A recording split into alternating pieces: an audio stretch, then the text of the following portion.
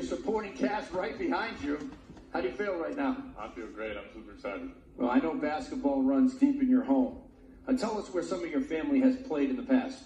So, my great grandfather played at Tulsa University. My grandfather played at TCU.